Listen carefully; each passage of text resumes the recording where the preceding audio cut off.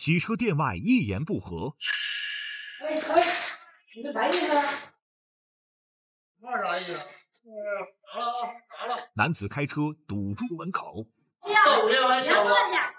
事态快速升级，老人店内遭受毒打。行了，小孩害怕，行了。不行，还打啥呀？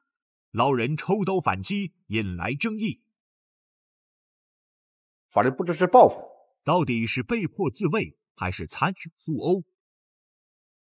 金牌律师团深夜不速客，今晚即将播出。本栏目由辉山乳业特约赞助播出，牛在身边，奶更新鲜，鲜奶就喝辉山鲜博士。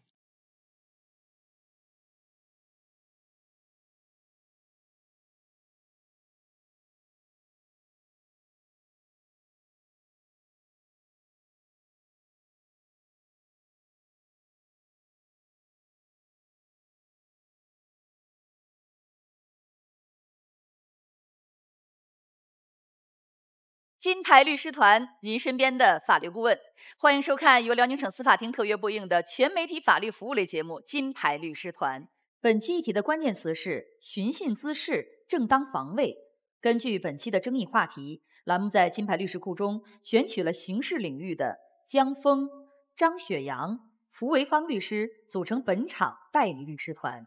本期请到演播室提供对立视角的 X 律师是法学客座教授丁少云。在今天的交锋当中，他将以反方视角为当事人提供帮助。本期委托人来自沈阳的陶磊，他和父亲共同经营着一家洗车店。不到一个月，父亲被两个陌生人在店内一顿毒打。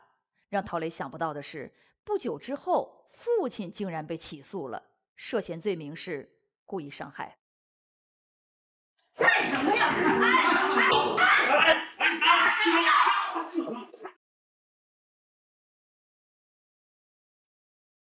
眼前这一幕发生在辽宁省沈阳市的一家洗车店内，拿刀的人是谁？为什么会出现这么严重的冲突？冲突又因何而起？让我们把监控调到当晚的八时零二分，一辆黑色轿车停在了店门口，郝磊的父亲提出反对。你这啥意思？那啥意思？你咋的？搁这咋的？不等这儿了。不整那啥？是不等这儿了。咋了啊？咋了？你说话不着二挺得不？看着车主转身离开，陶磊父亲对他临走时说的话也并没有在意。一会儿看他这是，我看清他在我旁边。怎么了？那他敢吗？啊，对，再开来一个。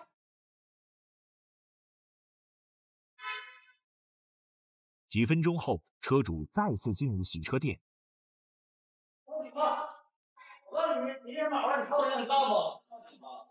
我看你要，我看你要，我你你刚才肯定说话不好。我等你看看，我说我告诉你，我等你看看，我就说害你，啥意思？我告诉你啊，我等你看看。对这是这我个还你的我这出来唱了，我就这么说的。双方的火气一点点升温。孔某某丢下了一句话这你玩你打我，别有不要，这午夜玩笑吗？行过去。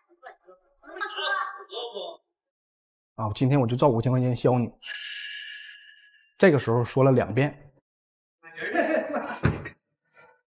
五分钟后，监控里出现了另一个男人，也就是孔某某的岳父。人呢？快点，磨叽呢。出来出来，给这样打。这还了得呢了，你那你削我，咋的了？你人呢？暴力升级，陶磊的父亲被对方两个人打得不断后退，最后被控制在休息室内，动弹不得。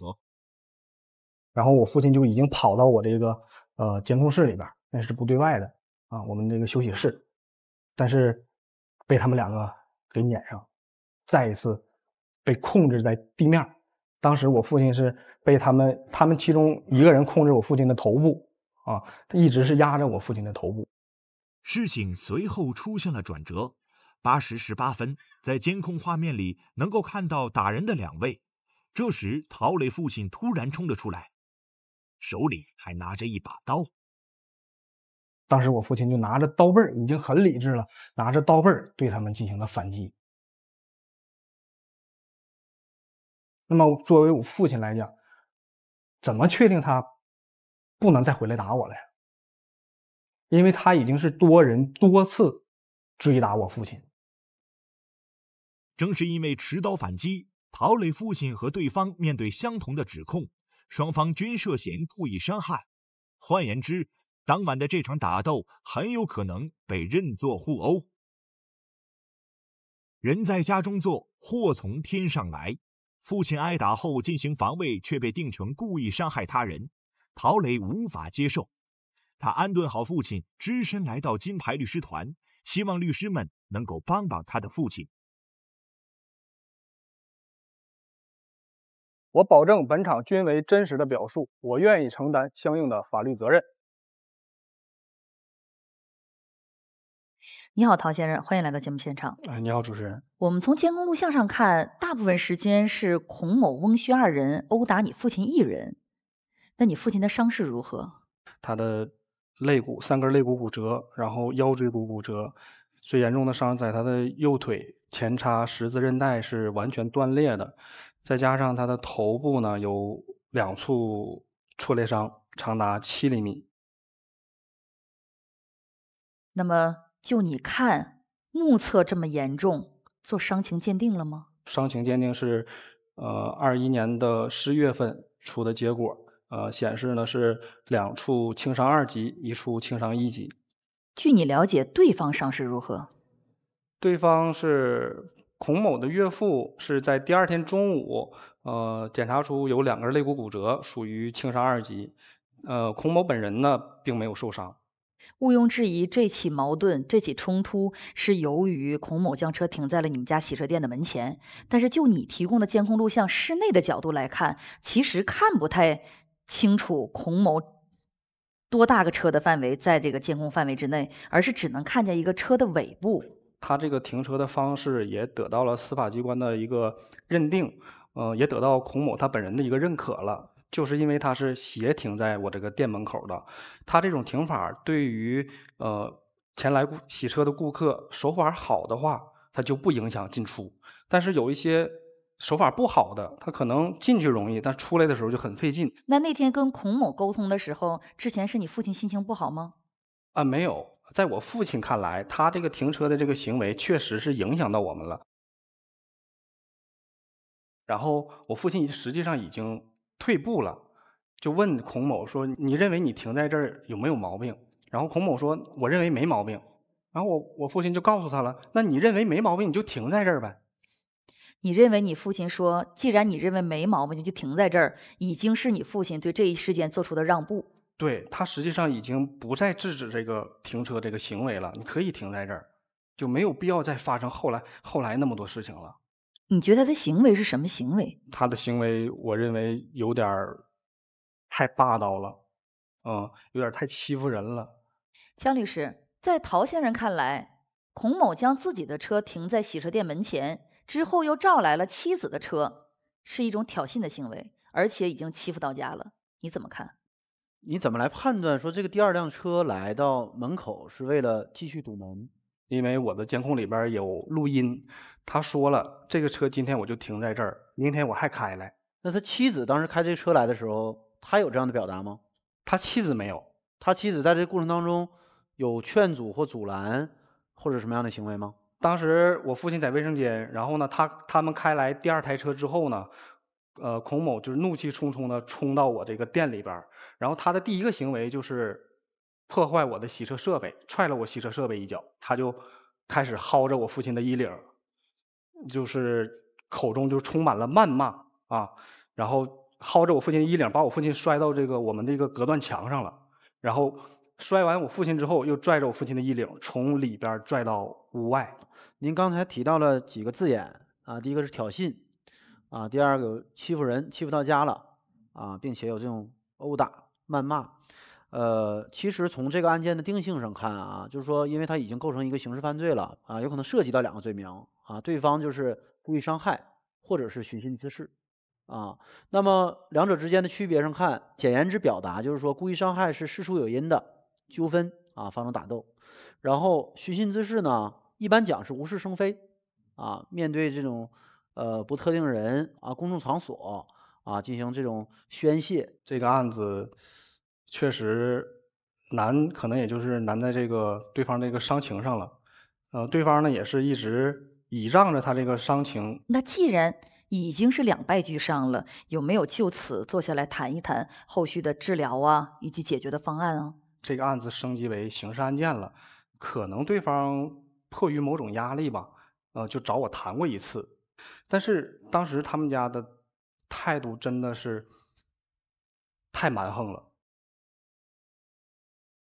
所以当时那种我就没有同意。从那以后就再也没有提过这个协商的问题了。因为他们就是倚仗着这个，嗯，大不了就双方一起都进去服刑。你觉得是他不担心自己坐牢，反倒你们家会担心你父亲坐牢？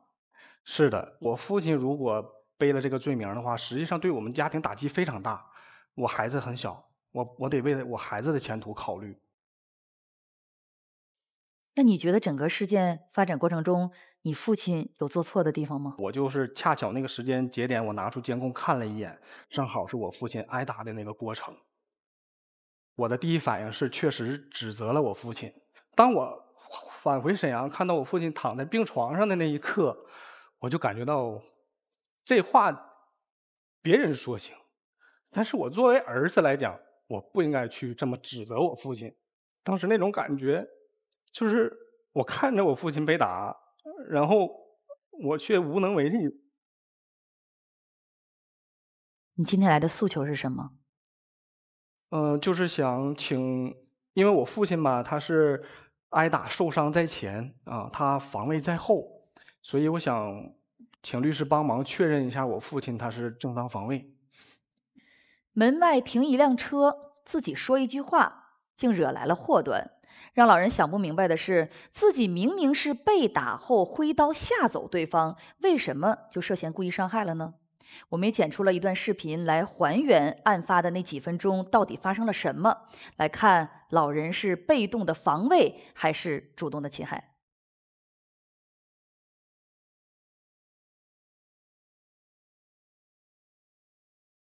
随着案件的进一步发展，双方都在各自向检察院举证。陶磊和父亲拿出了当时的视频监控录像。当晚八点零二分，黑色轿车车主孔某某停车与陶磊父亲发生口角，留下话：“我还有一辆车呢，我还开过来。”五分钟后，孔某某和妻子开了另一台车停在洗车店门口。八点十七分，岳父赶到，能清晰的听到：“人呢？还了得他了？那就打呗。”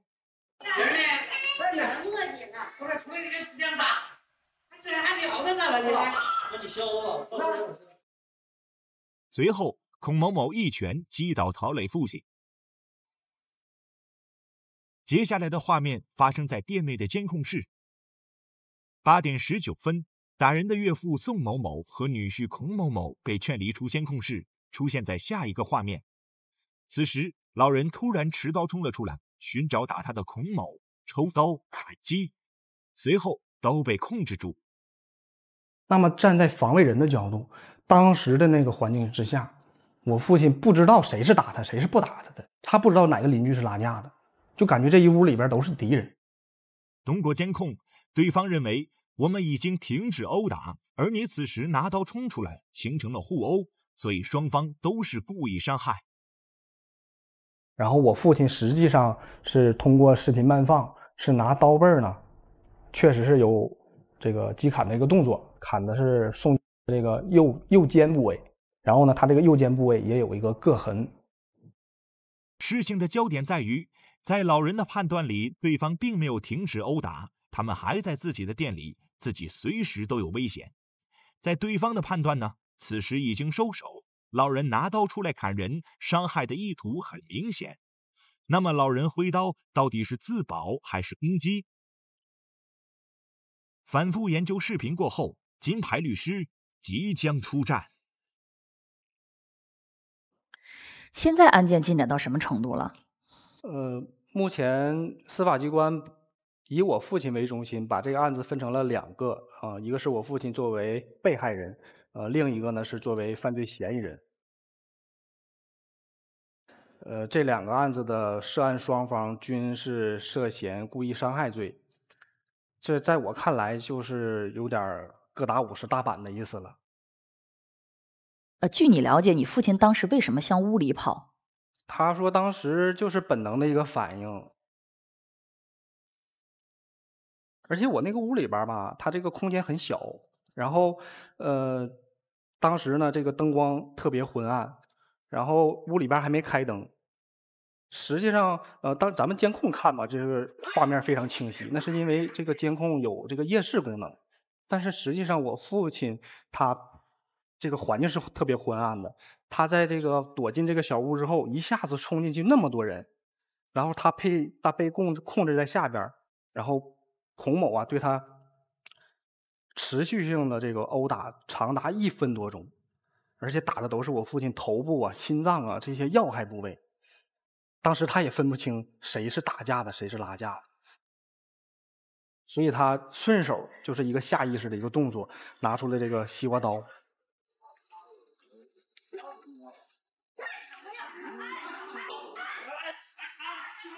然后我父亲他本人供述的说，我不能用正面，用正面可能会把人砍坏，所以我用的是背面。其实你父亲非常清楚那个屋里放了一把刀。因为这个这个刀呢是，呃，我的上一任店主留下来的。呃，我们呃父子俩在这个装修店铺的时候，可能就顺手放到这个休息室，留着这个夏天我们切一个西瓜啥的能用。可能我父亲下意识的就能感觉到说，啊，这里边有有呃有把刀，然后顺手在他有这个反呃有反击能力的时候呢，可能下意识的就把这个武器呢拿出来。你刚才的诉求也讲到了，其实你就是想来让我们金牌律师帮助你来认定你父亲是一个正当防卫的行为，而不是一个主动侵害。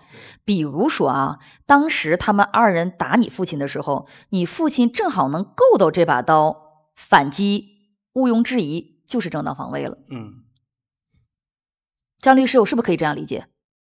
针对这一行为呢，国家也出台了很多的司法解释或者是文件。那么，二零二三年曾经有一个，呃，这个是明确的指出，针对于因琐事发生争执，双方均不能保持克制而引发打斗，对于过错一方先动手且手段明显过激，还击一方造成对方伤害的，一般认定为正当防卫。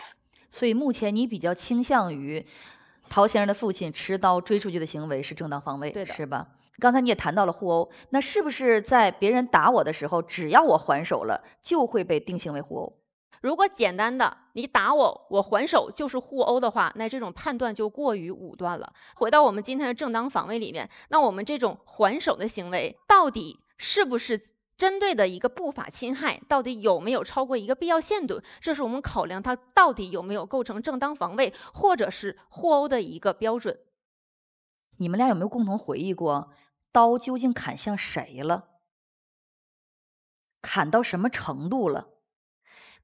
对方的二级轻伤鉴定结果跟你父亲砍到哪儿有直接关系？我父亲就十分肯定的说：“我只砍到他肩膀部位了，我没有砍到他胸口的部胸部。”但是呢，呃，孔某他岳父肩膀确实是有一个割痕，这个是有照片印证的。但是他是锁骨下方的这个胸部肋骨骨折，我父亲说从头到尾就没有承认过这个伤是他砍出来的，他也没碰没碰到。怎么证明他这个第二根和第三根肋骨骨折和我这把刀的这个这次的击打行为存在着这个因果关系？这是我目前都没有搞懂的。符律师如何能够搞懂是否具有因果关系？您父亲的伤情报告是怎么写的这个伤势呢？呃，结果显示呢，是孔某岳父的伤为钝性外力所致。然后当时我们呃要求想要做一个呃孔某岳父的这个伤和我父亲这把刀有没有关联性的这一个鉴定。嗯、当时呢，司法鉴定中心出具了一个不予受理通知书，内容是孔某岳父的伤不能确定为涉案工具所致，所以不予受理。嗯，钝性外力所致。那这个时候，他这个伤造成的原因有可能会是，呃，有没有可能会是您父亲造成的？有可能。他，但是他也有可能是，就比如说他自己在这个击打的过程中磕到了哪儿，或者磕到了您父亲的手肘，亦或者是磕到了拉架人的手肘，或者是孔某某他打错人了，打到了自己的岳父，这都是有可能的。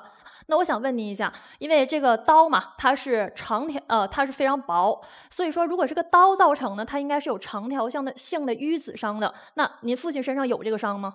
他受伤的这个第二根和第三根肋骨这个部分没有任何痕迹。那就像陶先生描述的，那他既然没有长条性的淤紫状的伤，那我认为是不能确定这个伤是否是刀造成的。陶某的父亲在看店的时候与孔某发生了矛盾，并且遭到了孔某及其岳父的殴打，随后反抗，结果老人涉嫌故意伤害。那么老人反击的行为到底是不是正当防卫呢？三位金牌律师，请提问。那个休息室是一个怎么样使用的情况？平时都用作什么呀？监控视频都在那里。然后我父亲平时白天休息在那儿，有时有的时候晚上还在那儿过夜。这个用拳脚打的，这个严不严重？力量有没有很暴力？据我父亲的反馈的话是，呃，基本上就是下的死手。通过监控咱也能看到，他一直在打这个头部，然后呢打这个心脏。一直在打这个心脏的部位啊。对方在什么情况下停的手？呃，当时是被邻居给分开了，然后呢，邻居呃推着他们从从里屋把他们推出外，推到外屋，然后但是他们依然还对我父亲进行辱骂。那么呃，通过我们这进一步的详细的交谈呢，那我内心确定更加坚定了啊，我觉得这个事儿应该是虚心滋事。但是后续的几个行为是把这个行为扩大化了，也就是我们讲的借故生非。那么从我个人的理解上看，我首先判断前面是滋事，寻衅滋事，那么后边的防卫的正当性就会更强，因为寻衅滋事是一个比较恶劣的一种暴力犯罪啊，它有一个肆意殴打他人的那个情节。那么这种情况下，我们防卫这种正当性会更强。他当时还是有一定理智的，拿刀背儿，所以我们觉得行为也没有。必然的超出一定的范围和限制，那么造成结果上看更是没有超出这个必然的限制。已经被追进那个小屋子里面之后，那你当时父亲的想法是说那个空间对他来说是相对比较安全的吗？我说你当时为什么要往屋里跑？然后他说那屋里边那块有个门呢。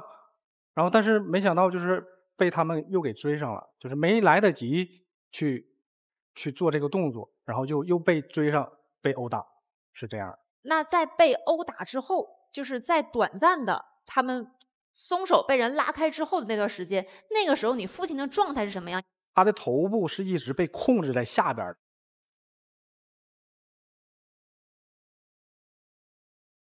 他不知道头上都是谁，都谁在打他，谁是在拉拉架的，他分不清。再打我就把我打死了。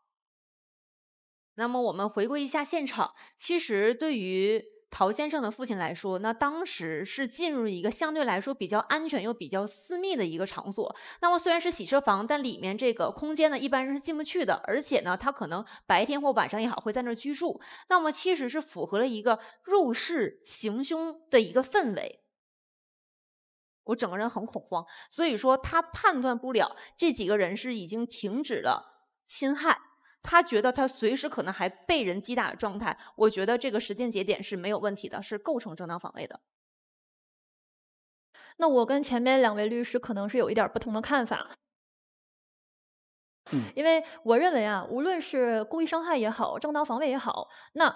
孔某某岳父的伤一定要与您父亲的这个行为有因果关系。嗯啊，那现在其实是没有证据可以证明的。对，他没有皮外的伤，是没有办法去确定他到底是由什么外力所造成的。所以说，完全呃没有办法确定您父亲的这个行为与这个受伤结果受伤的结果是有因果关系的。所以与正当防卫和故意伤害都没有任何关系。明白。针对第一轮焦点，X 律师请提问。视频最开始啊，你爸好像是说了一个叫什么，就什么意思？问了这么一句话是吧？对，嗯。你当时说你觉得你爸那个开头的语气有点问题，你觉得有什么问题？可能就是在这个语气声调上，可能是呃有点过高了。用词呢？用词，我认为在东北的话，啥意思？太常见了。那个就是说，我在这个案件的问题上，呃，我和三位律师有些观点是一致的，但我们也有一些这种这种分歧。比如说，至少在孔母心里边，他认为他在社会的鄙视链里边和那个小涛他爸有差距。你有什么资格说我这样一句话？他的根本不是你说了什么，而是谁对他说一句话。所以在这个情况下呢，他就完全符合刚才姜律师讲的那个叫什么无故殴打他人呢？就是借故生非啊。在于这种事态升级的时候，责任在谁？把我们都欺负的没边儿了，然后我们还弄一个犯罪是吧？那这里边它是有个法律逻辑在里边的，就是说法律支持正当防卫，但是法律不支持报复。针对 X 观点，三位金牌律师有什么样的看法？报复的问题，我内心是不认同的。如果这种评价可以适用于在正当防卫案件里的话，那么没有正当防卫存在了。我觉得你的立场上可以不认同，但是我不太相信你的内心不认同，因为一般来说呢，你如果是一个普通人的话呢，呃，你遭受了别人的欺辱啊，其实人的本能的反应是打回来，或者是骂回去，就是我要找一个平儿，我要对等的让你付出同样的代价。法律的制度是说我支持你防卫，但是我禁止你报复。人在防卫的时候，他首先他想到的肯定不是法条，假如说我要怎么怎么样去保护自己，我可以采取一个什么样的限度去保护自己。他想到的就是说，我现在处于一个很危险的状态，我要反抗回去。那如果这种反抗被认定为一种报复的话，我觉得这是一种开启了一种道德评价，它它是一种对于行为性质的一个一个负面的一种评价。关于报复和正当防卫这个事情，我觉得报复和正当防卫它没有一个非常明确的一个区分，就是说它是报复，它就不是正当防卫了。就我们举个几年前的例子，比如说龙哥反杀案，那么他当时被这个不法侵害人这个不断的用刀背儿殴打的时候，刀掉地上了，他当时捡起这个刀的这一瞬间，他是不是想报复？我都被欺负成这样了，但是这案子最后也被定成了这个正当防卫。全案来看，如果有更多的点能够证明其他人也跟孔某某的岳父有过这个呃身体上的接触，是对于我们做无罪辩护更有利的。呃，你说的这个逻辑我理解，但我不同意你的策略。我为什么要去证明他是怎么受伤的呢？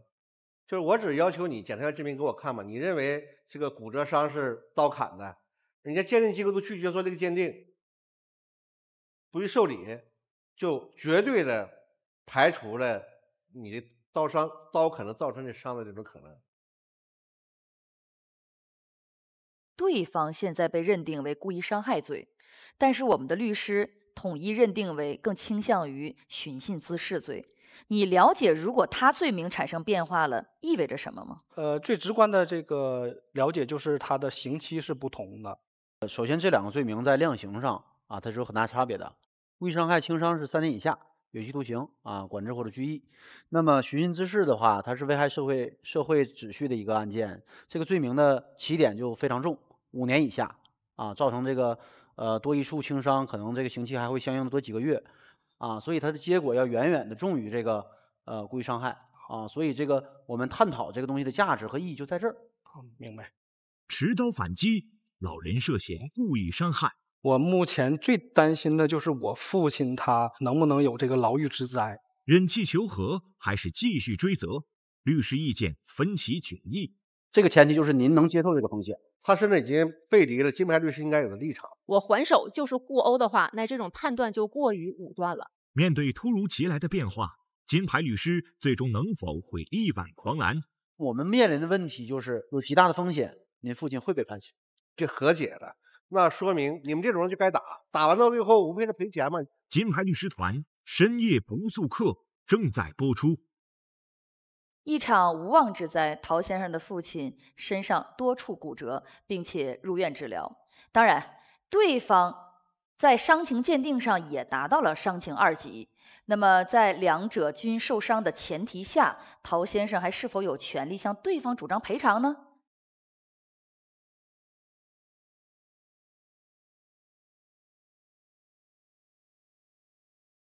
除了日常上班。陶磊几乎把所有的时间都用在了父亲的案子上。他自学法律知识，为的就是能够更好的为父亲辩护。全程我父亲就是因为这一句话吧，这个啥意思，就被他们家打成那个样子。这么长时间一直在做这件事，就是想给我父亲讨个公道。目前，父子俩依旧经营着这个二十四小时自助洗车店，可父亲脸上却再没了往日的笑容，随之一起消失的还有他健康的身体。我认为这个这件事儿是因为一个很小的一个停车事件引起来的，完全可以不必发生的。这样的话，对待我们两家来讲，其实没有赢家。目前。老人和对方都收到了涉嫌故意伤害的起诉书。换而言之，挨打的陶磊父亲因为持刀反击，有可能因故意伤害而判刑。面对深夜不速客，老人能否免除刑责？金牌律师再次出战。你父亲被打后是怎么治疗的？他是先去的公安医院，先验的伤，然后伤情比较重，然后公安医院就是建议去呃这种公立医院去入院治疗，然后当时我们就转到这个公立医院了。那目前花费了多少钱？呃，我父亲的医药费用是近十万元，然后这笔费用呢也到目前为止也都是我自己垫付的。你主张过让对方赔偿你吗？主张过，我们提的是也是刑事附带民事的诉讼，然后。呃，现在目前我主张的民事赔偿额度可能是十，呃，十一二万左右吧，大概是这个数额。那对方也达到了轻伤二级，那他的医疗费用花了多少钱，你知道吗？但是他们的证据有限，他治疗的费用可能就是一千四百块钱，这是呃咱们这个司法机关予以支持的这部分，只有一千四啊。你目前最为担忧的是什么？我目前最担心的就是我父亲他。究竟是能不能有这个牢狱之灾？针对第二轮焦点，三位金牌律师，请提问。就是我们在这个刑事的这个案件里边，是我们直接提起了民事诉讼吗？还是你想在诉讼之后再单独提起民事诉讼的一个索赔？呃，我目前是刑事附带民事的这个诉讼。然后现在我也有个很大的疑问，就是我父亲在住院期间是花了呃直接的经济损失是近十万块钱，但是我父亲出院之后，他住院只住了二十天，然后出院之后给家卧床半年，这半年期间的这部分费用，我们可不可以进行主张？正常来说，如果是您已经提起了刑事附带民事诉讼的话，那这一部分费用其实法院按照司法实践其实支持不了的。那如果你想提出一些什么精神损失赔偿啊，包括一些伤残补助，其实都是不支持的。刚才张律师提问了您我们这边的赔偿诉求，那您说这个案子还有另外一个案子，就是咱们父亲作为被告人，然后这个呃受伤的孔某的岳父作为原告人的这么一个案子，那对方有没有向我们这边提起刑事附带民事诉讼呢？对方也是提起的刑事附带民事诉讼。那针对于我们刚才的观点，呃，疑罪从无的这么一个原则，我认为没有确定因果关系的情况下，我们应该对于对方的诉求不予赔偿。现实的问题是，您父亲已经被立案了，就是我们面临的问题就是有极大的风险，您父亲会被判刑。所以，如果我作为律师啊，或者是我作为一个司法的从业人员啊，不管是哪个机关啊，在哪一个环节，我都会去。让双方在这个事儿上进行息事宁人，啊，双方进行一个一个和解，息诉止争，这样的处理的结果是大家对最愿意看到也最能接受的。我父亲不止一次的告诉我，儿子，就算判我有罪了，我即使进去，我也不能原谅他家，我要为我父亲讨回公道。好，针对第二轮焦点，X 律师请提问。刚才对三位律师的这种在第二阶段的观点啊，我非常不同意。我尤其不同意姜律师的刚才说的每一句话。他甚至已经背离了金牌律师应该有的立场。你看，他持续的在劝小涛在在和解啊。就是说，我相信那个江律师的他的主观的出发点是对的，那我希望你和解，争取你利益最大化。如果小桃按照江律师建议去和解了，那说明孔某是对的。你们这种人就该打，打完到最后无非是赔钱嘛，你不缺钱吗？你不怕坐牢吗？我给你钱之后，这件事就翻篇了。如果你在这种事情上和解，躲过了所谓的牢狱之灾，但是你主动的接受了羞辱，他和当年那个唐山在摄像头底下烧烤店殴打事件没有什么区别，没有什么区别，只不过这次被打的人变成一个老头了。所以是什么呢？是说，即便是小涛想放过那个孔某某啊，法律应该放过他吗？就这种事情还要在别的场景下再复制吗？啊，第一，作为律师来讲，没有人会以损失当事人的利益作为代价去追求一个不现实的结果。当事人如果说您觉得这种风险我能承担，那我觉得您的选择，首先来讲，我觉得它是对的。你要接受这个风险的前提下，那我们就干。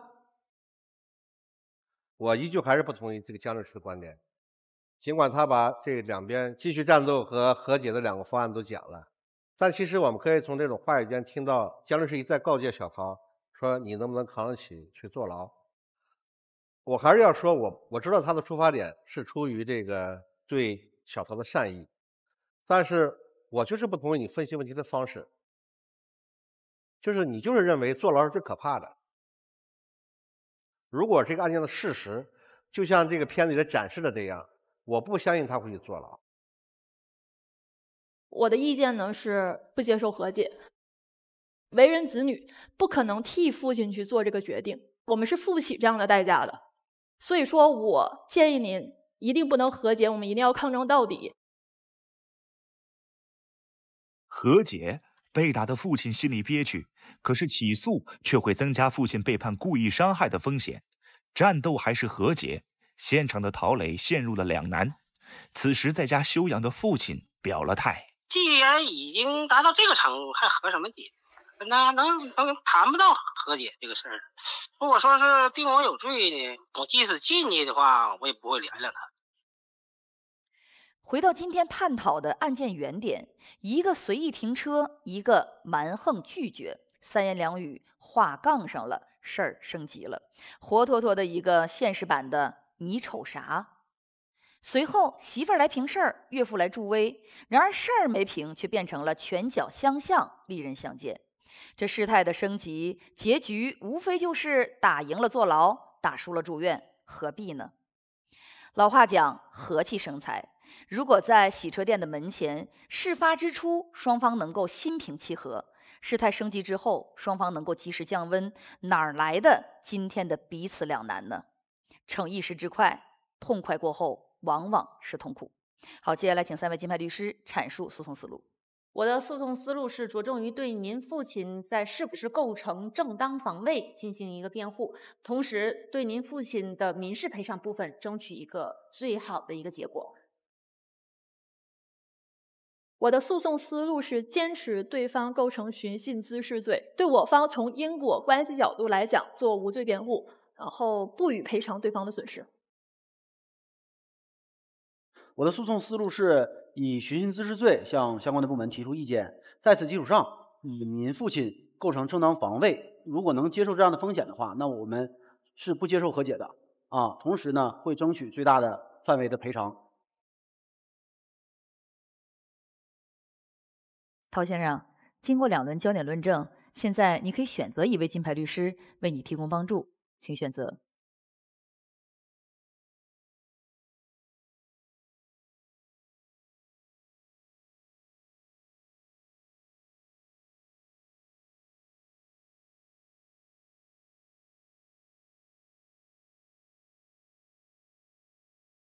本栏目由辉山乳业特约赞助播出。牛在身边，奶更新鲜，鲜奶就喝辉山鲜博士。金牌律师团，精彩继续。陶先生，经过两轮焦点论证，现在你可以选择一位金牌律师为你提供帮助，请选择。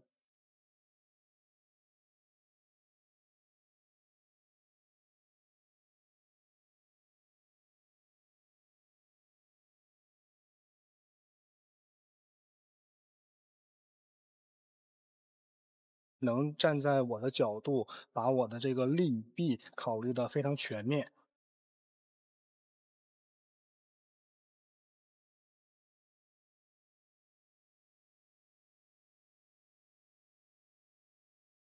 我最大的收获就是我更加坚定了，呃，用法律武器来维护我父亲的合法权益的这个决心。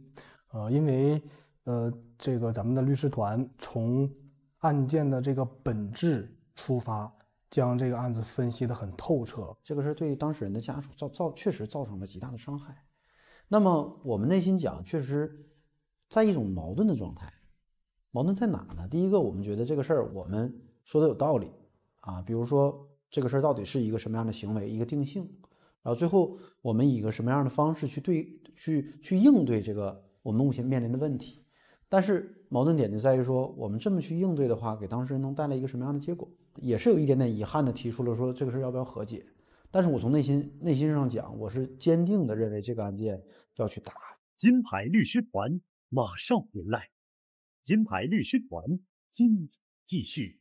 今天律师团表现的都都非常好，尤其是他们在这个做各各位的案件的细节分析上做的都很到位。你包括这个蒋律师，他就最最先提出来说，这个案件可能是这个虚心滋事的方向来来考虑，因为你在在这个案件里边，尤其是现在这案件已经进到这个司法程序里边了，就最好的防守是进攻。感谢收看由辽宁省司法厅特约播映的全媒体法律服务类节目《金牌律师团》，金牌律师不止为您而战。下周同一时间，我们再见。